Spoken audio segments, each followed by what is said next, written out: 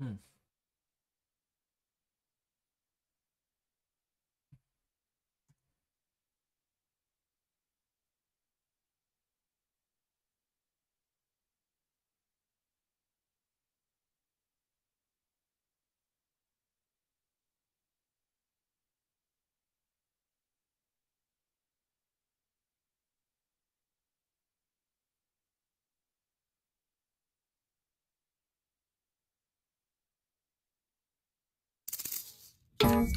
Ladies and gentlemen, it's my pleasure to introduce to you.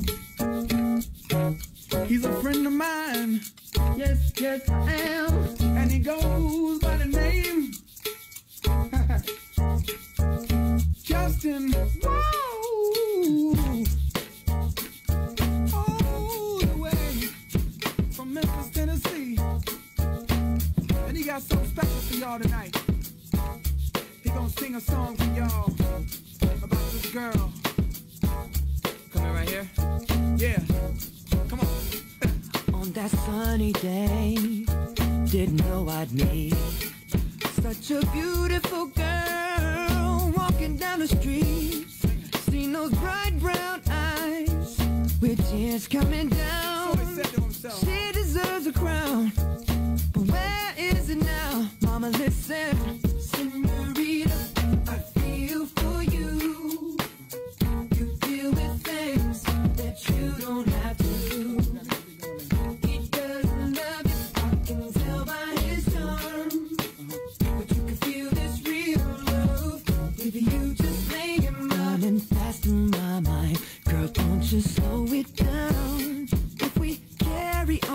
way, this thing might leave the ground.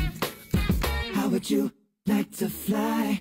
That's how my queen should ride. But you still deserve the crown. Why hasn't it been found? Mama, listen.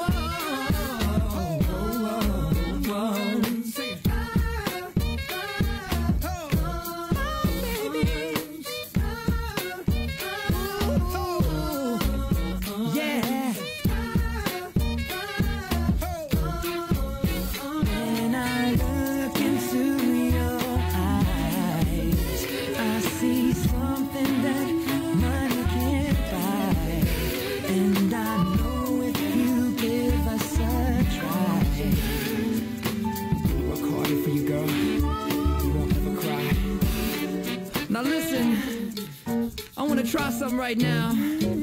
See, they don't do this anymore. I'm gonna sing something, and I want the guys to sing with me. They go, it feels like something's heating up. Can I leave with you? And then the ladies go, I don't know what I'm thinking about. Really leaving with you. Guys sing, it feels like something's heating up. Can I leave with you? And ladies, I don't know what I'm thinking about. Really leaving with you. Feels good, don't it? Come on. It feels like something's heating up. Come on. Can I leave Yeah. Ladies, I don't know what I'm Sure thinking feel good to me. Sing it one more God. time. Feels like something's heating up. Can I leave with you?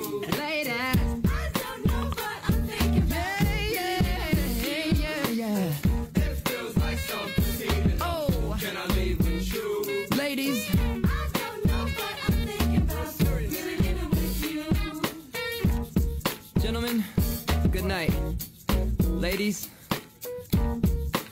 good morning. and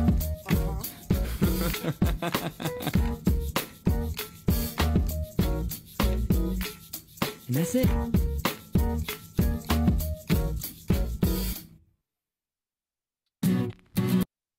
All right, we're gonna go ahead and get started for today. Hope y'all are doing great. Uh, today we're gonna talk a little bit about performance tuning, among other things. And first, we're gonna, of course, start with a few announcements.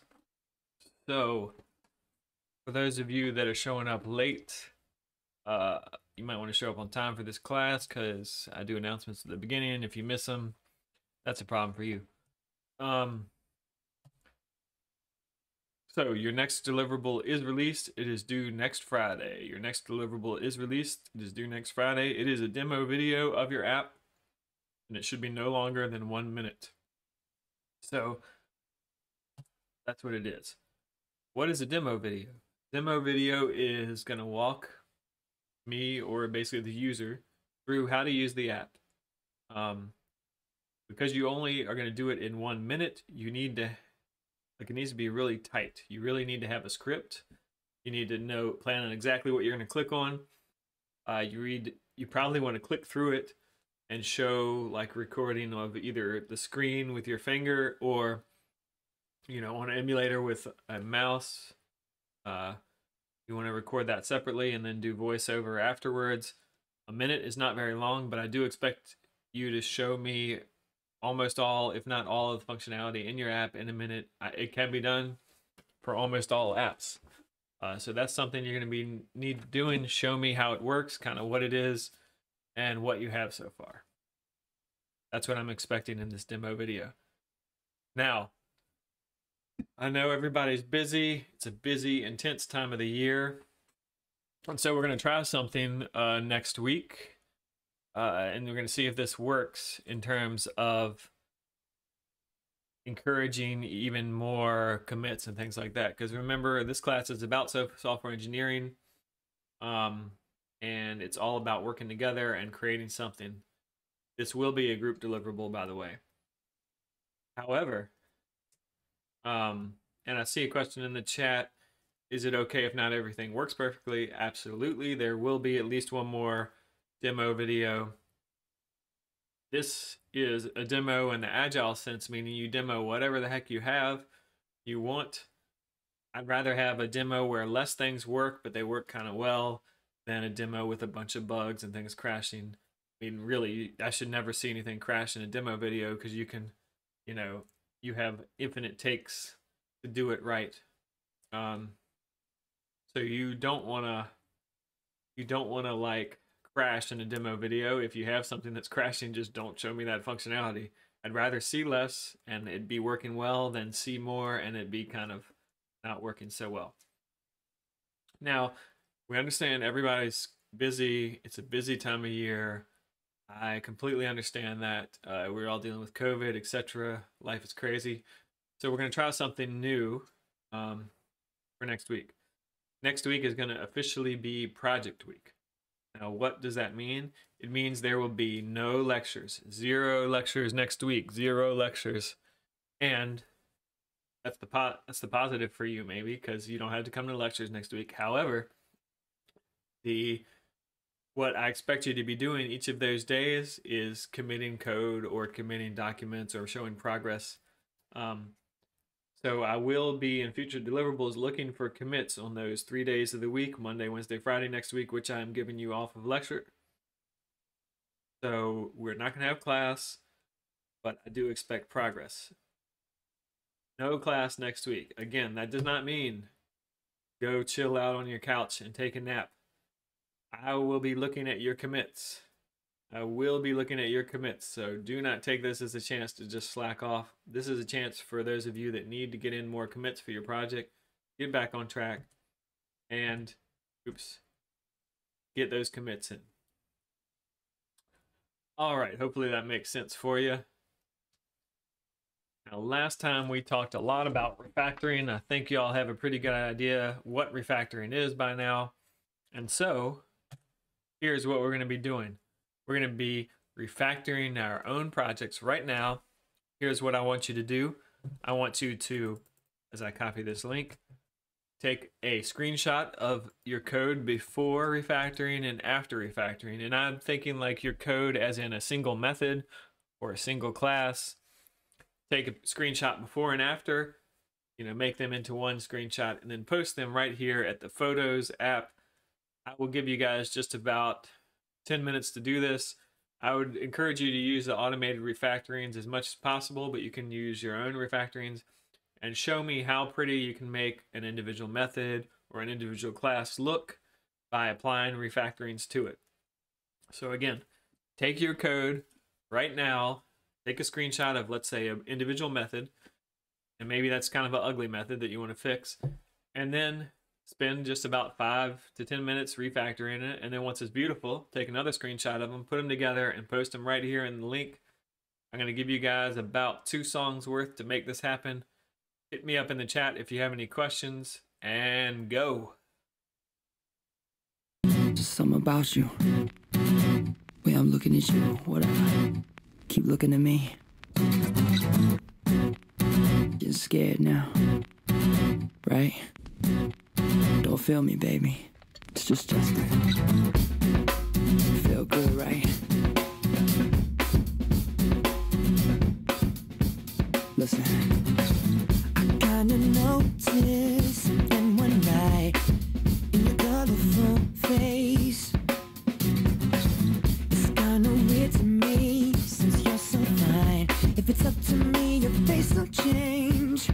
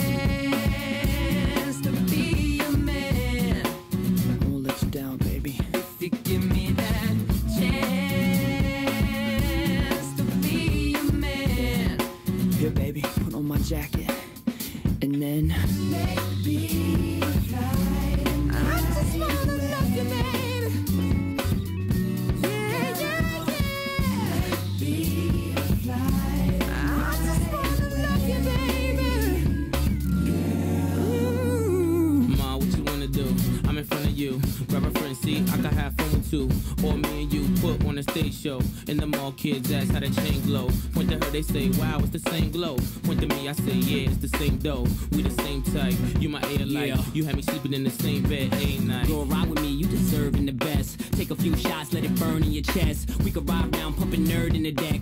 Funny how a few words turned into sex. Play number three, joint called brain. Ma took a hand, made me swerve in the lane. The name malicious, and I burn every track. Clips in J Timberlake. Now how heavy is that?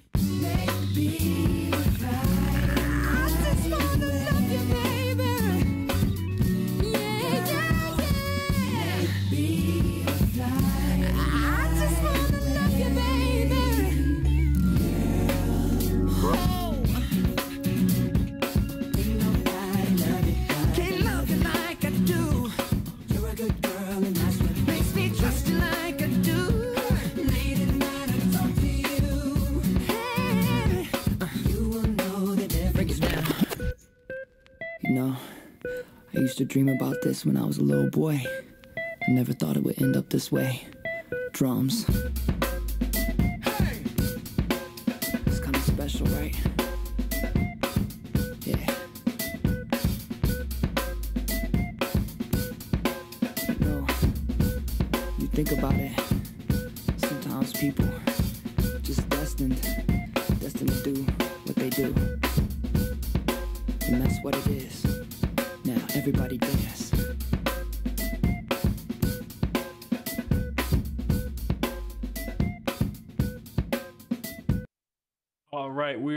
one song deep, and so far, I do not see any submissions. I reserve the right to not lecture anymore until I see about 20 submissions. We got 50 people on the stream. I expect to see at least 20 submissions before I will move on with the lecture. So I suggest that you get to work refactoring. Here's some more tunes until then.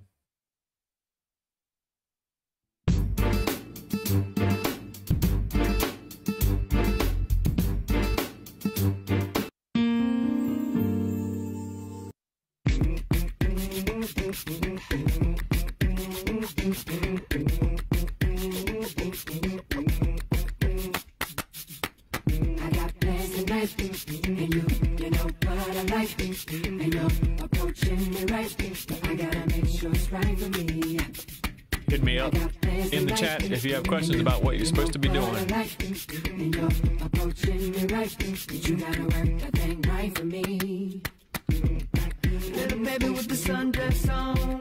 Looking so damn right, you're wrong. Maybe wanna write my own.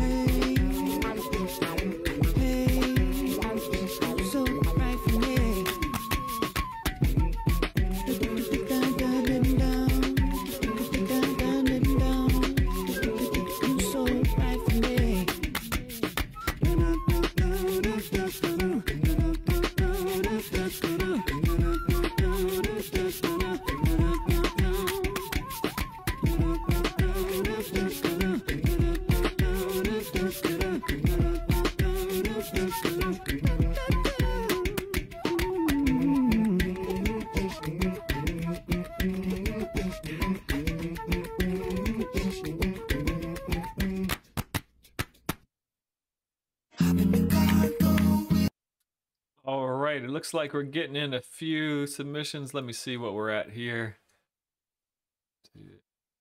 Yeah, we got a few for sure, but I definitely need some more. We're gonna hit you up with one more song. Uh, these songs are gonna get worse the longer that y'all make me wait. Uh, so please encourage your teammates to get those in and ask questions in the chat if you have any. Remember your code. If you've already submitted one, I'd encourage you to continue to refactor your code. Your code is, unless you have basically no code, your code definitely could be refactored and improved. Just try and think of ways that it could be improved, simplified. Make sure the level of the abstraction is consistent. Make sure the methods are short, things like that.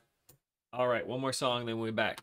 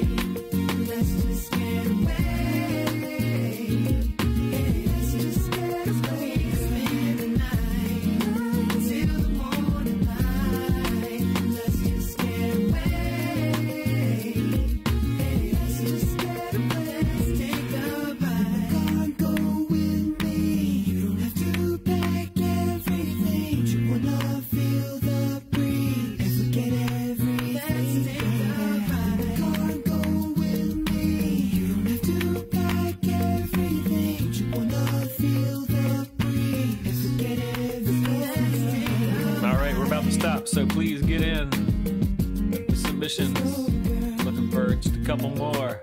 Get them in, get them in, get them in.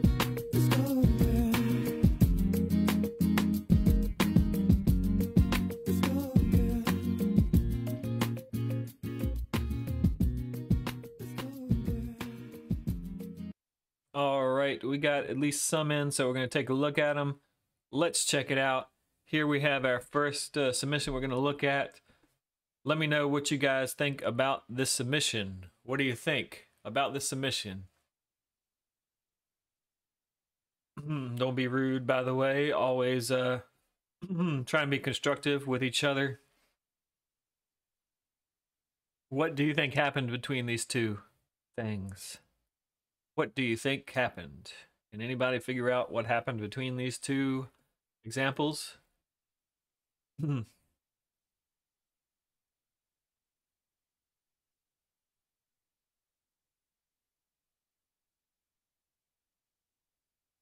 Mm, Let me know in the chat what the heck happened between the thing on the left and the thing on the right.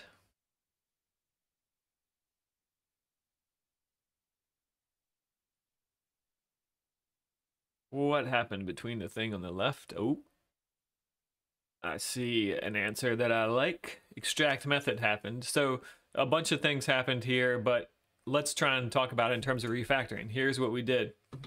We took, see this task is successful, which you also see is here.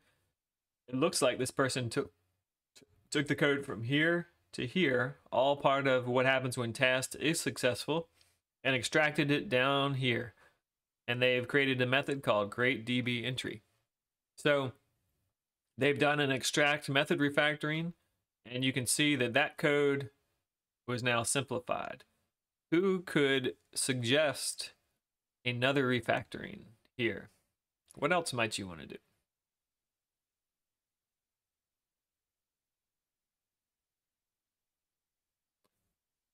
What else might you want to do in this situation? Now that you're over in this situation,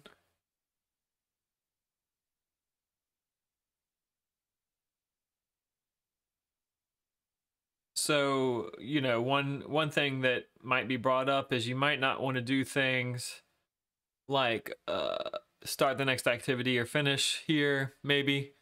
Uh, i would definitely say that you could probably extract the else too. So here we have a mismatch between abstraction. So they just extracted this which is ex- excellent idea.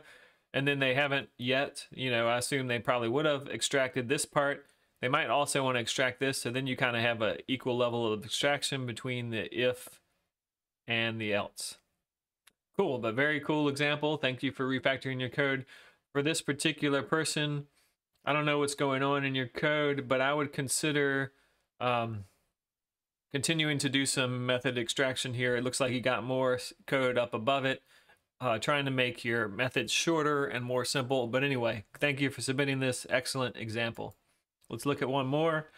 Uh, it's a little smaller. Let me zoom in if I can. Uh, let me get even closer. There we go. All right, this is a little harder to read, uh, but does anybody see what happened here? Can you see what happened here? Let me know in the chat. What just happened? Come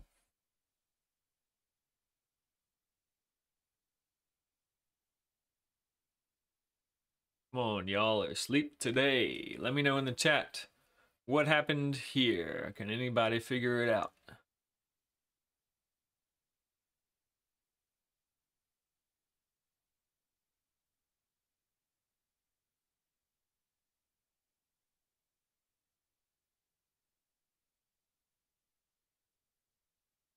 Yep.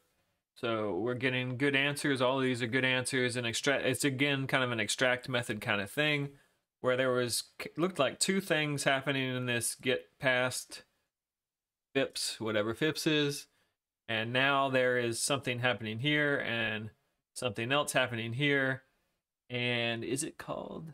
Where is that? Get. I'm seeing if one is called from the other. Yep, so get dates for last two weeks is called from the get past FIPS. So this is this method was extracted from this. Okay. One thing that this person might consider is these methods now look kind of similar, right? Like we're using a for loop, we're using a for loop, we're returning a date list. Um, I guess we're not returning a date list here. So maybe these are fine. Maybe this is fine. Uh, but this is uh, just a classic, you know, extract method. Helps make this method more simple. And you, I would argue that you could even go further in making these methods more simple. But this is this is great. Thank you for sharing your refactoring. Okay, that's great. Hopefully, y'all learned something from taking a minute to refactor your own projects. I strongly recommend that you consider refactoring your own projects. Guess what? Since you get uh, credit for commits, refactoring your own projects is a great way to continue to earn credit towards this class because refactorings never look like trivial commits because you're doing significant changes to your code that make your code more readable. And uh, yeah, so they're great things to do if you want to spend a few days cleaning up your code. You won't make progress on your task, but you will make your code prettier and cleaner. And that absolutely counts for this class. So check it out. Consider doing it. Okay. Today's lecture, which we are now super behind on, because uh, that took longer than expected, um, we are going to look into performance tuning and optimization of code. Uh, we'll probably have to continue this next time, but don't worry. Uh, we got we got enough time to get everything done that we need to. So, optimization of code. Have you ever optimized the performance of your code? And if so, what was your strategy?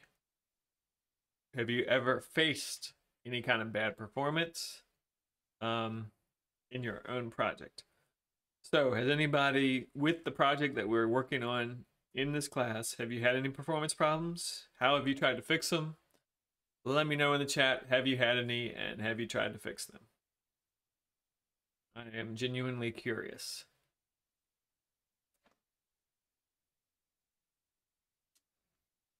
And I am very patient to wait for you to answer.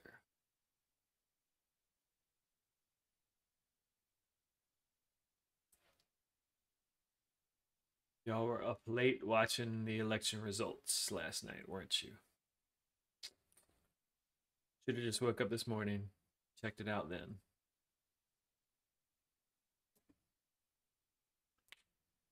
Aha, this is a great example. Thanks, Pratik. Uh, some, he's saying that he used a loop instead of a he used a for loop instead of a while loop, so he's making a bunch of internet connections unnecessarily. Yeah, that'll do it. And that's a great example of, you know, oh, you had a problem and then you discovered what was up and you fixed it. API call timed out because the code was slow. Yeah, that's a great example. Thank you.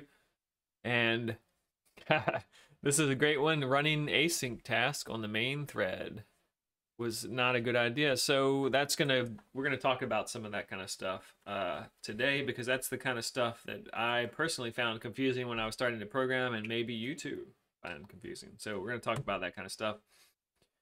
Uh, just to give you a little insight into the evolution of performance engineering over time.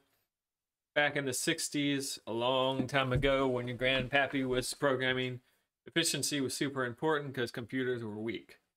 Um, now, already by the 70s, we were computers had come far enough where, hey, we realized code readability and understandability by humans is actually super important too. So we need to kind of not always optimize per, for performance, but sometimes we need to optimize for the code being readable and understandable. Uh, by the 80s, there was a renewed interest in performance because we had started doing things like games and you know selling software for money. So people really started getting back into performance and there was the whole you guys don't remember this but when i was in high school there was this whole hype around oh it's the pentium 1 the pentium 2 the pentium 3 all these chips that came out they got faster and faster. Performance was a big deal. Um 1990s through 2000 hardware got faster consistently. And so we didn't have to worry so much about performance. We did worry about keeping software clean again. And lately, let's say 2010s on, we have computers with lots of cores and including our phones even and we're so we're worrying about more a better utilization of computing resources than uh, we are just to make performance even better, let's say. So, just to keep things in perspective, uh, here is a relevant quote that we're gonna we're gonna kind of keep in mind as we think about performance. It is more computing sins are committed in the name of efficiency without necessarily achieving it than for any other single reason, including blind stupidity. What do you guys think and gals think this means? Let me know in the chat. What do you guys and gals think this means? Interpret this quote. Why are we talking about it? Let me know in the chat. What do we mean by this quote? Or how would you interpret this quote? What is the context? That's great. Don't go chasing efficiency at all costs. Can anybody else include uh, say their interpretation? Hello, hello, hello.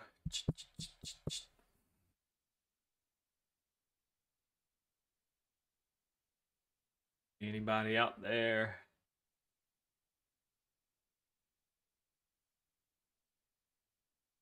Hello. There we go. Efficiency isn't everything. That's a great way to put it. That's the kind of things I'm looking for. Yep. Great. All right. I think y'all understand how we're going to approach efficiency. Um, interesting thing about efficiency is that for performance, really, there is two things you need to think about. Like efficiency, not all types of performance is really even the same problem.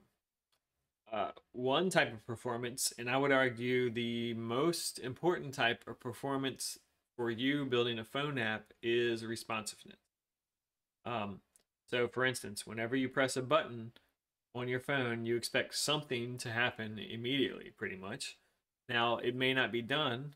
Like, let's say you press a button, I expect the screen to change immediately.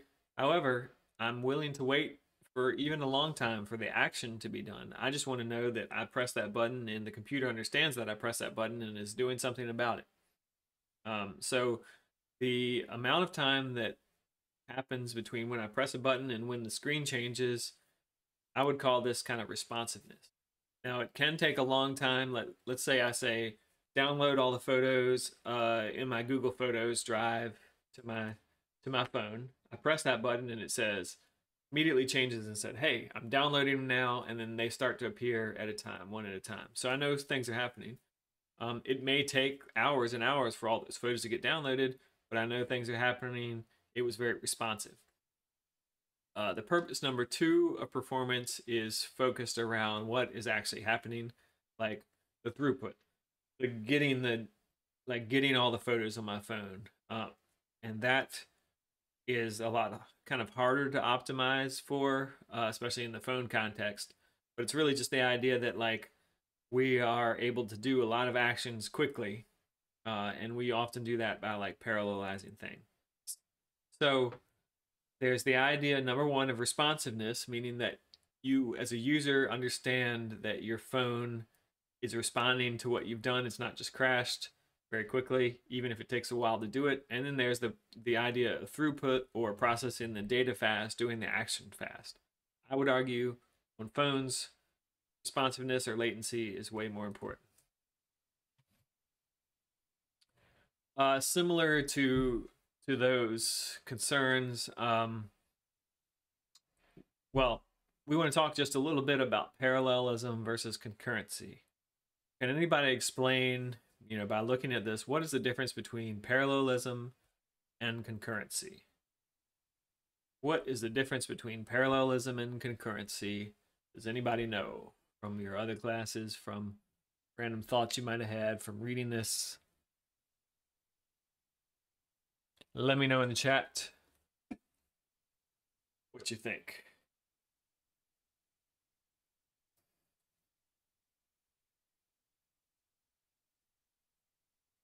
Parallelism versus concurrency. Gonna have to think a little bit today.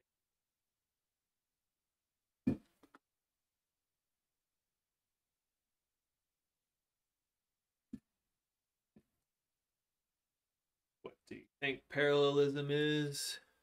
What do you think concurrency is? You can talk about one. Yep. All right. Looks like several of you get the idea. Let's see if we can talk about it. Parallelism. A good example of parallelism.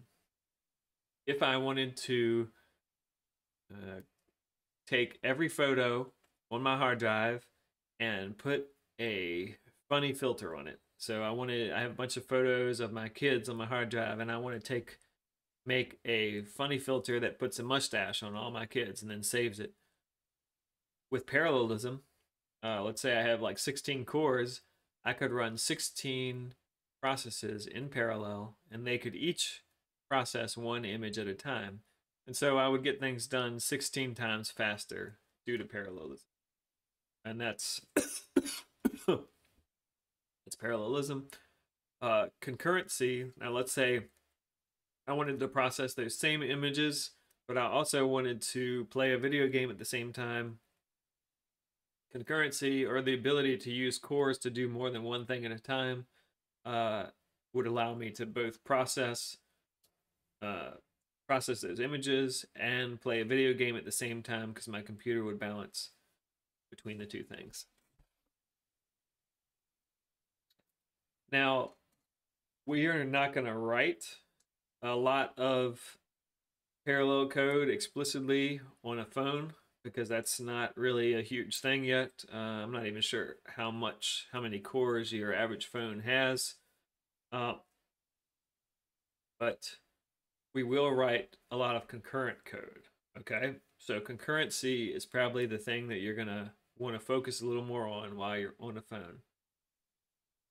Does anybody know how many cores the modern phone has, like the Pixel 4 or the whatever uh, Samsung we're on these days, or the iPhone? I think like two ish.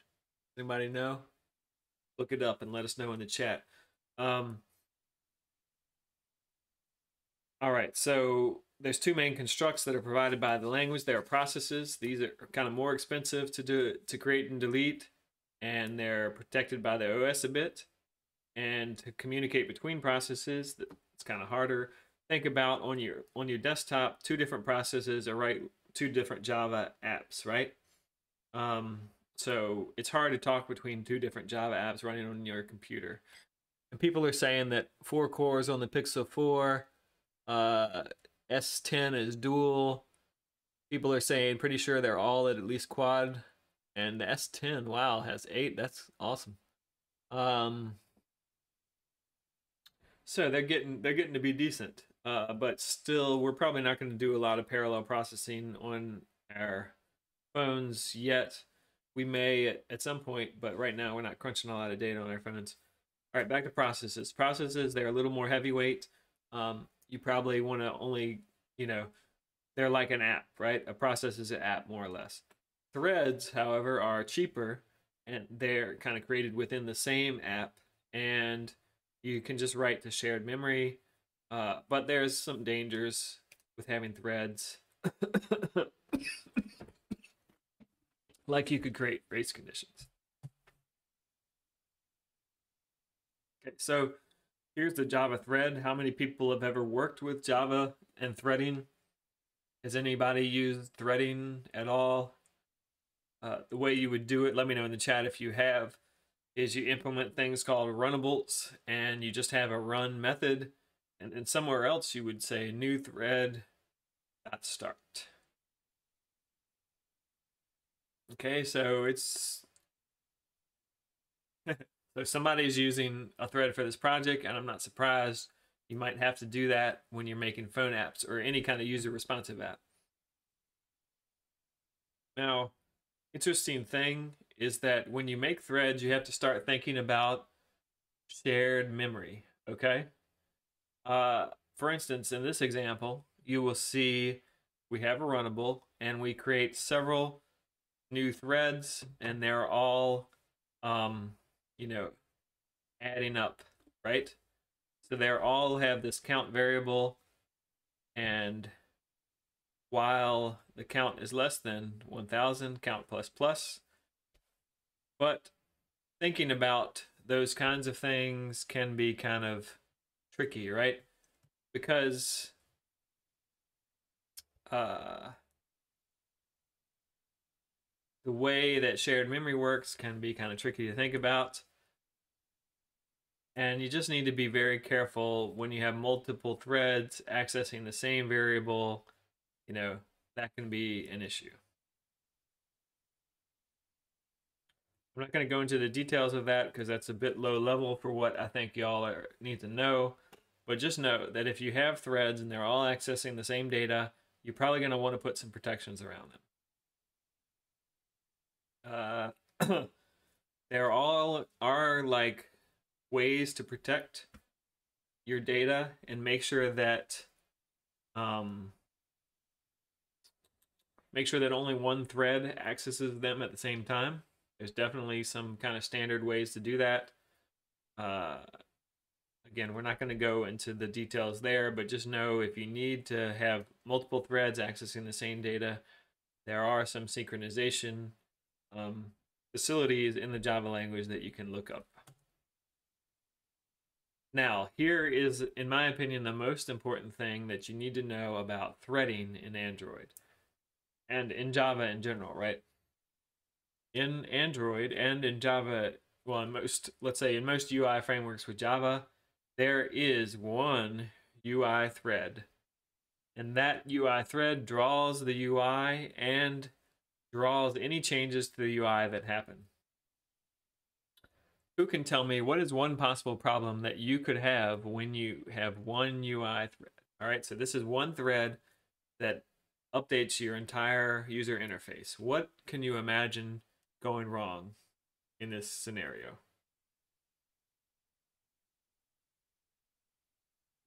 What could possibly go wrong?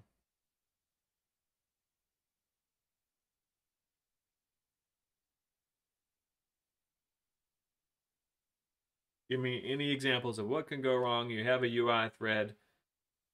Why would this ever be a problem? Uh, yeah, I mean, that's a potential problem for sure. If you have a long redraw operation, you can't interact with the UI during that time. I'm looking for ways that you, the programmer, can screw up. Aha. This is the key point I want to bring up. Great, great point, Pratik. He's saying if you don't implement concurrency and you have something that takes a while, the main thread can hang. Here is the biggest problem that I see with uh, young programmers and UI threads. If you do anything that takes a long time in the UI thread, it looks like your app is broken. Okay? If you go over the internet, if you hit the database, if you do anything that takes more than a microsecond, uh, it just looks like your app is broken, right? Who can tell me some things that you do in your app that should not be done in the UI thread? So these are things that happen in your app that should not be happening in the UI thread. One example already from Orion, the app will stop if it's taking a while to get data. So one thing you shouldn't do in the UI thread is you shouldn't get data from a remote data source, let's say. Another thing you shouldn't do in a UI thread is making an internet connection because that can definitely take a long time. What other things should you not do in a UI thread?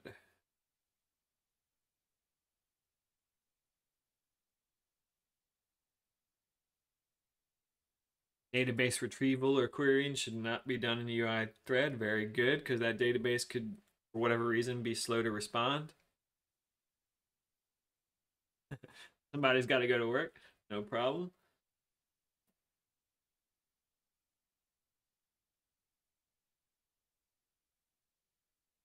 What else should not happen in a UI thread?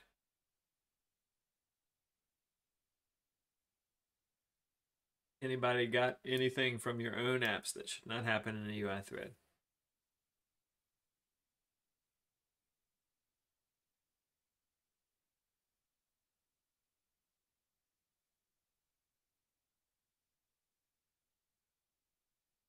Okay, so I'm getting some interesting questions that I don't quite understand yet, but here is what I want to say. Like basically nothing should happen in the UI thread.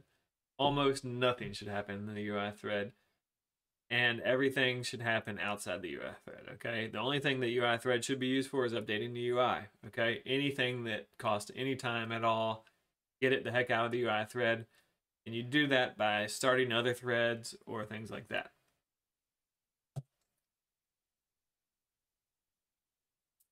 All right, so um, threads are necessary in order to in, to avoid blocking in the main thread. So anytime we're in the main UI thread, we got to do anything basically. We want to get it the heck out of that thread and then later on return the data. Okay. Um, one thing you should know is if you're in a non-UI thread and you need to update the UI, you can always call run on UI thread, but that's a little bit wonky to do. You don't want to do that often if you can help it. Um, one thing I'm going to do right now, and this is going to be the last thing that we talk about for class, I'm going to is I want to show you this brief video explaining just a little bit more about threads. This is a very important topic for not screwing up your app. Here we go.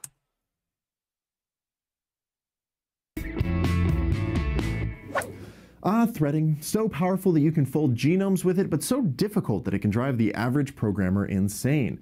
My name is Colt McAnlis, and as far as Android development is concerned, threading is one of the most important and most confusing things that you can deal with. Which means if you want to write the fastest app possible, you've got to take a minute and understand the subtle art that is multi-threaded programming. Remember that in the vast world of Android functions, there's a whole boatload of operations that only execute on the main thread. Uh, system events, input events, application callbacks, services, and even alarms. And for the most part, any code that you write executes inside one of these operations, which means it also runs on the main thread. Now, if you recall, work that executes on the main thread gets there after being pulled from the front of a work queue. So blocks of work are done in order, and the next block of work isn't processed until the current one is completed, which means if there's a large chunk of work between an input event and its callback, then the user will have to wait longer than expected to see results. And don't forget that the main thread is also where most of the screen rendering occurs. While an animation or screen update is occurring, the system will try to draw the screen every 16 milliseconds or so to achieve smooth 60 frames per second. The problem is that this is happening while the thread is also responding to app input events. So if your app is in the middle of an animation and some random work packet takes longer than expected, you'll miss your chance to render that next frame within the 16 millisecond window and that frame will be delayed. This is what we call a dropped frame. And when this happens, users start to notice. The direct solution here is to move anything that might upset the 16 millisecond window over somewhere else, like to a different thread. This way, it won't be contesting with the UI thread for work to be done and won't be interrupting the drawing of the screen, which is the whole point of threading on Android in a nutshell. So the question at hand, what's the best way to offload this work? And how do you choose what types of work to offload? Thankfully, the Android framework has provided a handful of classes to help make this a bit easier for you. For example, the async task class is ideal for helping you get work on and off the UI thread the right way. Uh, handler threads are great when you need a dedicated thread for callbacks to land on. Uh, thread pools work best when you can break your work up into really small packets and then toss them to a bunch of threads. And intent services are really ideal for background tasks or when you need to get intent work off the UI thread. And like everything else, there's not a silver bullet here, but knowing which primitive is best for what situation can save you a lot of headaches.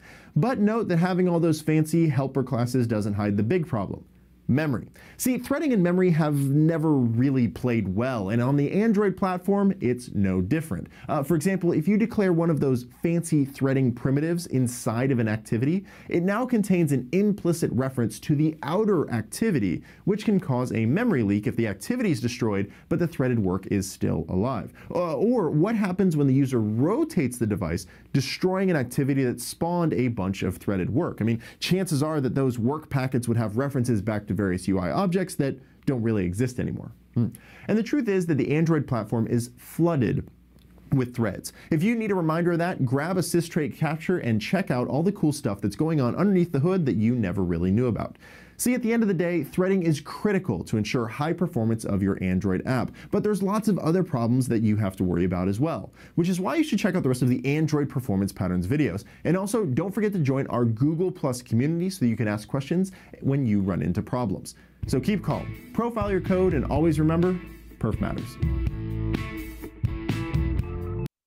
All right, so that was a super quick overview of threading. Hopefully, that gives you additional insight. It's always good to hear it from more than one person.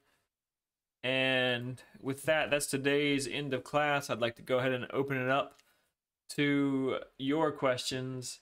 Let me know if you have any. Otherwise, this is the official end of class. I will see y'all on Friday and have a great week. Let me know if you have questions again, but otherwise, class is over.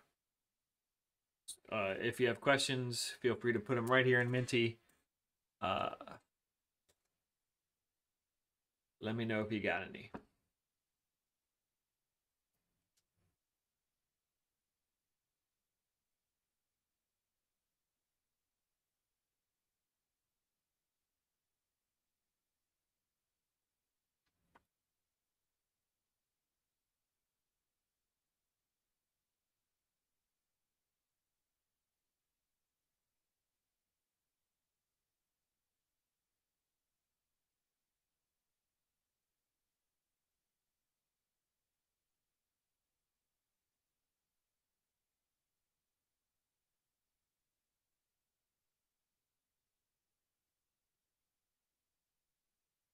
All right, somebody's asking, do I have any tips on refactoring? Yes, I do. My main tip for refactoring is here's what I do I work on a task and then I get it where I'm basically ready to commit in terms of like the task works and everything. I have some tests that verify that it works. Then I spend some time making it readable for other people. So I make it so like, oh, if I, if somebody was going to code review this, um, would I be embarrassed? Uh, what do I need to do in order for them to understand this code? So I spend some definite time after everything works and I'm basically ready to commit, refactoring my code so that it's prettier to look at and easier to review and easier to understand. So right before you commit, refactor. Will you be holding office hours next week during class time? Not during class time because I'll be in an external meeting but I will be holding them from I think it's like 2:30 to 4:30. So next Monday 2:30 to 4:30 I'll be around. Uh, if you have any questions during that time, let me know. Uh, on Monday I'll definitely be around. And pretty much, I mean, most afternoons, late in the afternoon, I'll be around. Uh, so just hit me, try and find me on Slack, and maybe we can schedule time if you need any. Somebody's asking why don't we do Kahoots anymore? That's a good question. We haven't done those in a while. Uh, maybe we should do. Let me know in the chat if you would like more Kahoots. Uh, that's kind of fun. I like to do that every once in a while, but I do not know if you guys like to do that. So let me know. Good idea. Somebody's asking, do we need to use threading in your apps? Well, that's a very good question. And I think that's something that you'll have to answer for yourself, meaning that if your app works fine and you don't have threading and there's no um, obvious problems, then maybe you don't. But if you're doing anything substantial in terms of calculation or getting stuff from the web, uh, you will probably have to use threading or else the user interface will look like it's buggy. So You'll probably have to use some threading in your apps, but probably not a ton.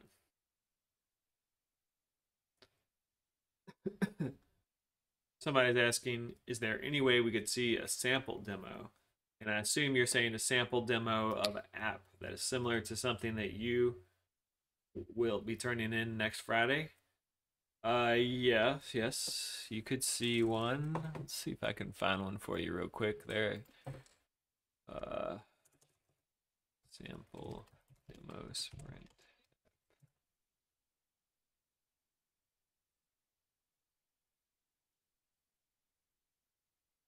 Hmm.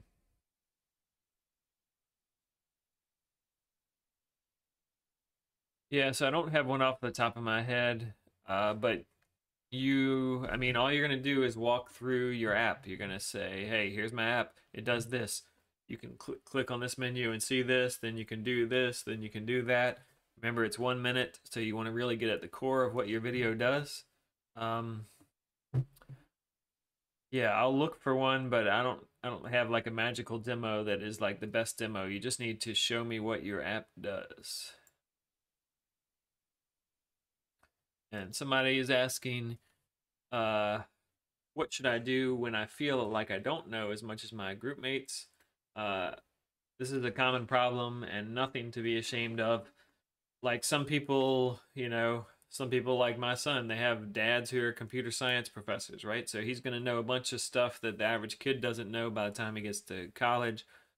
And some people like me, I had a dad who uh, was an engineer but wasn't into computers very much, uh, you know, growing up. And so when I got to college, I didn't I didn't know that much about computers except what I knew on my from like classes at high school, which as you can imagine weren't very good. So and so I was catching up from behind for sure.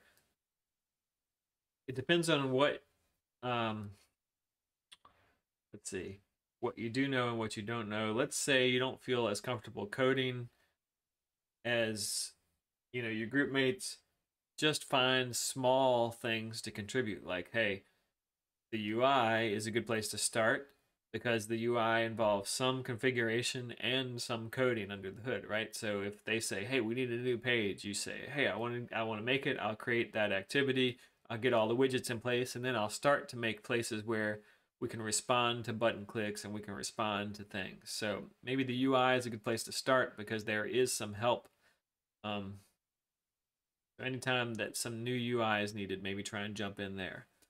Don't be intimidated by them.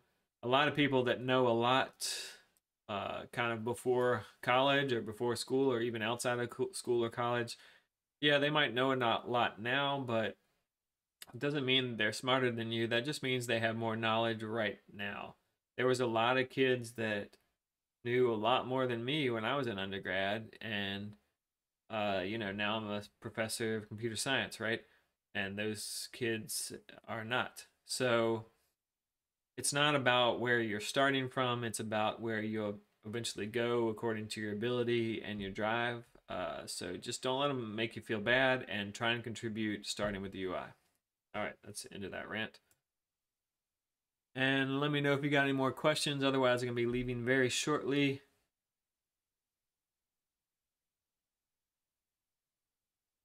All right. I hope you all have a great rest of your day. I will see you on Friday. Take it easy.